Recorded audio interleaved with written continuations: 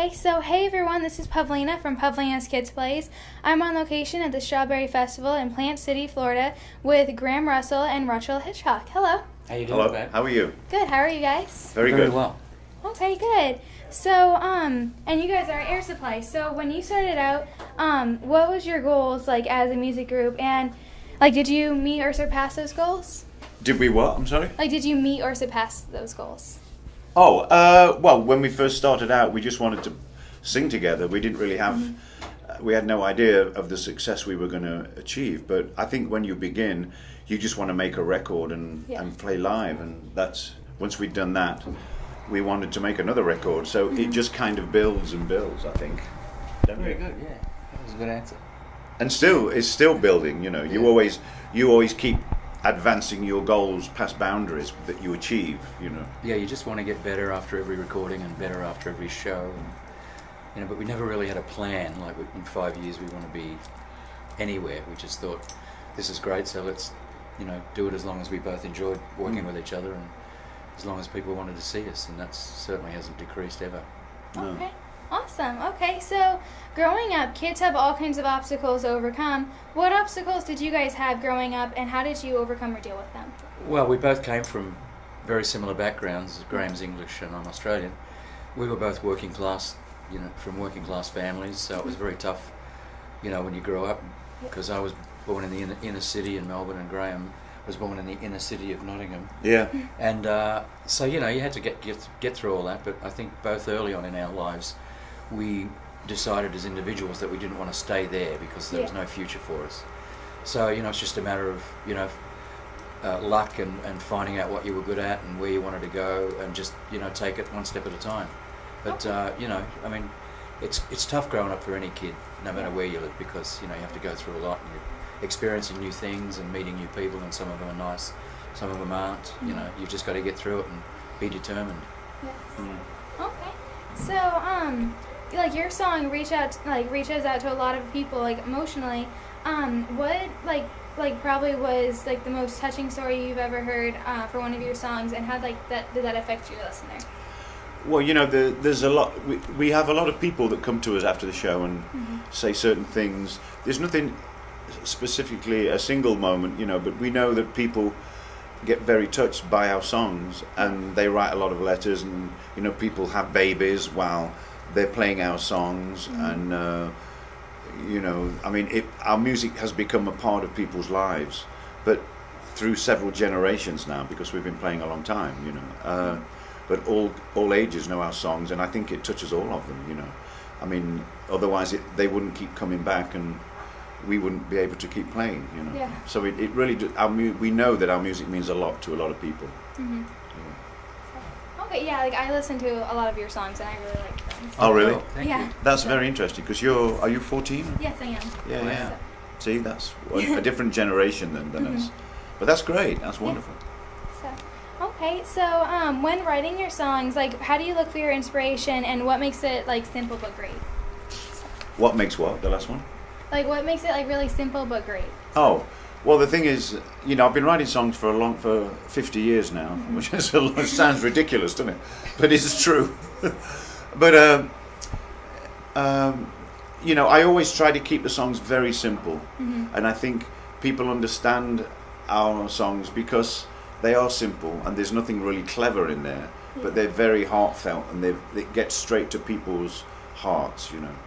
And that's what they're designed to do. But you know, the, the thing with us, it's very simple. And I, you know, as far as inspiration goes, I, I write all the time. You know, even when I'm sitting on a plane, I'm thinking of songs all the time, and I'm thinking about lyrics, and I'm, I'm changing songs around. Uh, so it's a never-ending process.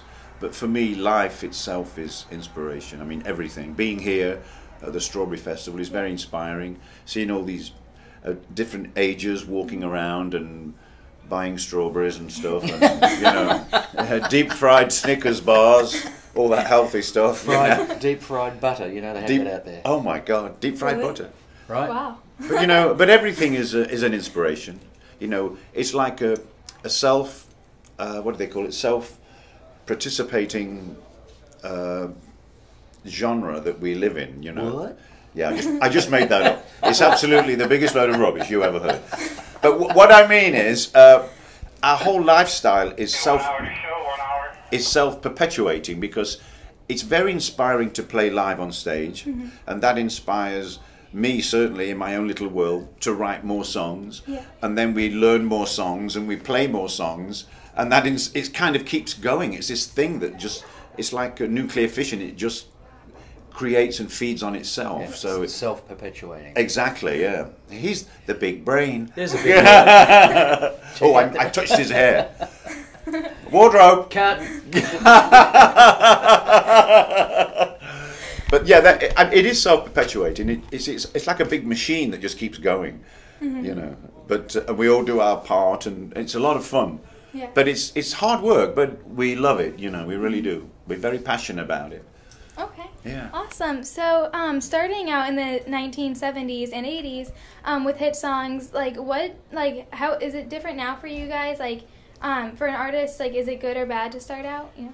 Well, I think it's way more difficult these days because, uh, you know, the business has changed 100% Mm-hmm. from when we first began. There were record companies that were around then had a lot of money and would support new acts and kind of bring them along and nurture them.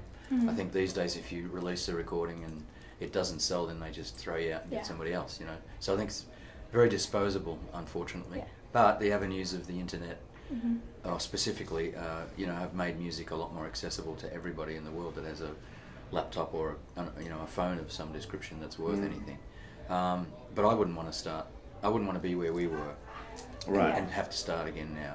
Mm-hmm. I mean, No. I'm not saying start again, but just start if I didn't know anything about the business because it just doesn't Yeah. seem like it's a lot of fun Mm. anymore for a lot of people.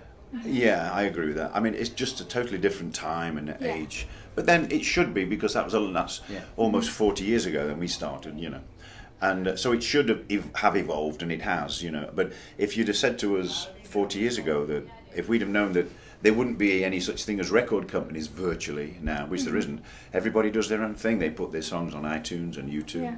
and that's how they get noticed, you know. And I think that's a great medium but uh, it's certainly a different world from when we started. But you know, we're involved in the new way now anyway as well. Yeah. You know, you have to be. But what we have going for us is we have uh, the former way as well. You know, I mean, we still make records, obviously, everybody does. But we're very versed in the way the music business works. You know, we've spent a long, lot of years in it, so we know how it works.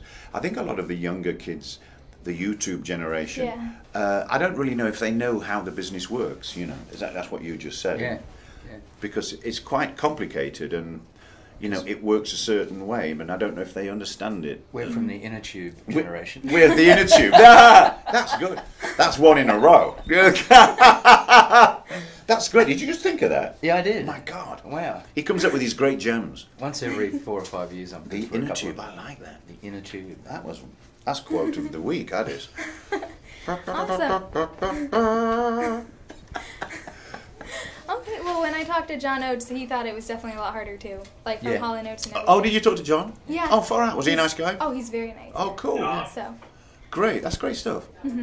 So, um, like, what has been like your philosophy for being so successful and performing for over thirty-five years? Um, well, I, I think for, we don't take anything for granted, you know, Mm-hmm. because you can't. If you if you relax and think that, you know, you're going to be given this whatever it is on a plate, you know, Yeah. sell out concerts or, you know, presume somebody's going to buy what you're recording.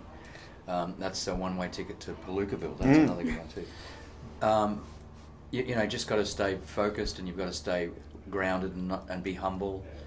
Um, just all those things, because otherwise you'll get shot down in a big hurry.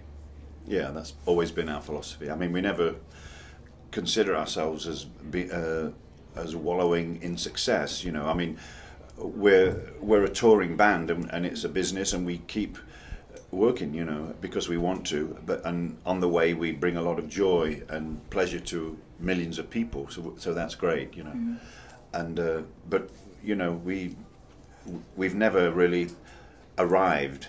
We're still traveling on that Yeah. road that we created, and we're we're journeying on that road, and where we don't know where we're going, but we only know we're going. You know what I mean? Yeah. Write that down, will you, Nate? well, we're not going. we're not going. You'd like that, wouldn't you? Well, what are your upcoming plans and events? Uh, we're just on the road constantly. We leave for Mexico and Brazil on Tuesday. We're gone for nearly a month.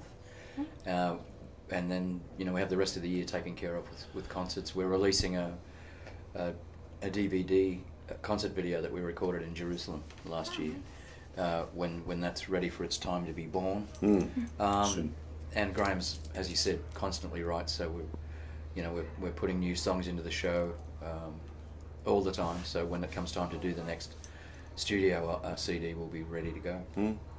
Okay, good. Well, thank you so much for talking. You're to welcome. Thank you. It's been a pleasure. You've been very good. Great.